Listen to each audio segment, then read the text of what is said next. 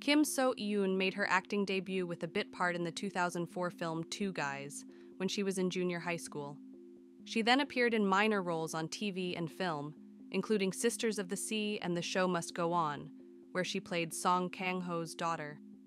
Kim rose to fame in 2009 with her supporting role as the heroine's best friend in the hit drama Boys Over Flowers.